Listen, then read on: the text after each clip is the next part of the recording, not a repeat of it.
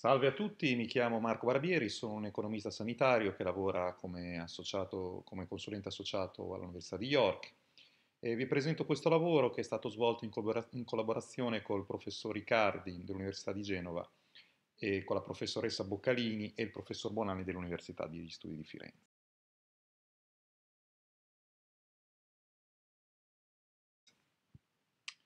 L'obiettivo dell'analisi è stato quello di valutare mediante un modello matematico, il potenziale impatto di eh, diverse coperture eh, di, sulla popolazione italiana di un, numero, un alto numero di vaccini che sono attualmente raccomandati dal Piano Nazionale di Prevenzione Vaccinale.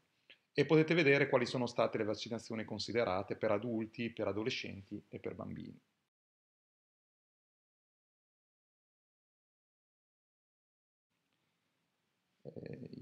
Come, avevo, come, abbiamo detto, il modello è stato fatto in Microsoft Excel e l'obiettivo è stato quello di stimare sia i costi dovuti alle vaccinazioni che i potenziali risparmi a differenti livelli di copertura, che sono stati eh, basati su tre possibili scenari.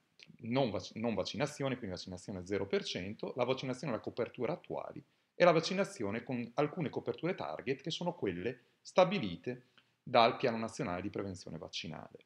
Il modello è un modello di coorte, quindi abbiamo seguito varie coorti per ogni tipo di modello e non è dinamico.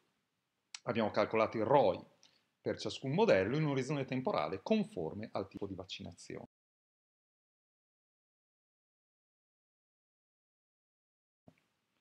Eh, vi faccio alcuni esempi, per, per primo quello del vaccino HPV, abbiamo considerato una coorte di dodicenni, sia maschi che femmine e una vaccinazione con il vaccino Gardasil 9.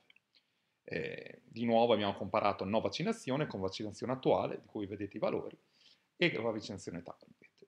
target. E potete vedere anche i valori, i tipi di input che abbiamo inserito, quindi lifetime risk, i costi diretti, costi indiretti e eh, l'analisi è stata lifetime. Vi faccio presente, come era scritto nella, nella diapositiva precedente, che abbiamo utilizzato una prospettiva della società in tutte le analisi e quindi abbiamo considerato anche i costi indiretti.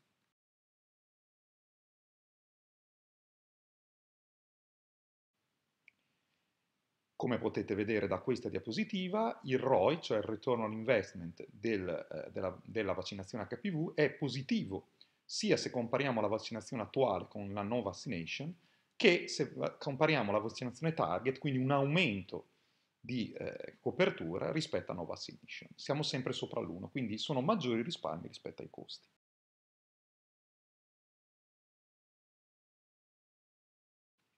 Un secondo esempio è quello dell'influenza, per la quale abbiamo considerato la popolazione di più di 65 anni e il vaccino quadrivalente, e abbiamo diviso la popolazione tra basso rischio ed alto rischio alto rischio con una o più patologie. Vedete di nuovo quali sono i tipi di input che abbiamo inserito, in questo caso l'orizzonte temporale è annuale.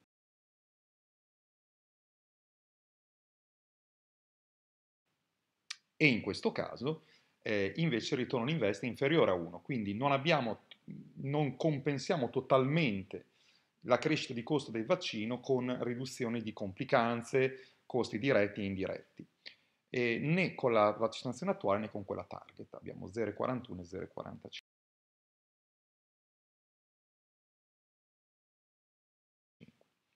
L'ultimo esempio è quello dell'herpes zoster, nel quale abbiamo considerato varie coorti di 65, 70 anni o, con, o da 50 a 64 con due o più complicanze e abbiamo considerato la vaccinazione Zostavax.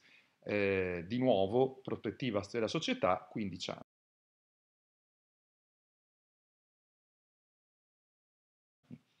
I risultati in questi casi sono solo preliminari, anche in questo caso, benché sia leggermente più alto che nel caso dell'influenza, abbiamo una vaccinazione che eh, risulta con un ROI tra lo 0,4 e il 0,80 per la vaccinazione target, che però è molto sensibile a variazioni della percentuale dei lavoratori e nei dati di incidenza di herpes zoster.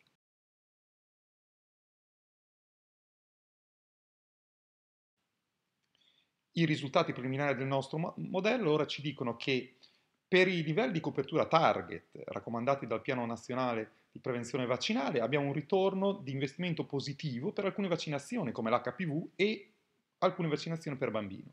e mettendoli tutti insieme si potrebbe avere un ritorno su un investimento positivo maggiore di uno. Sono risultati preliminari, ancora non abbiamo il risultato finale.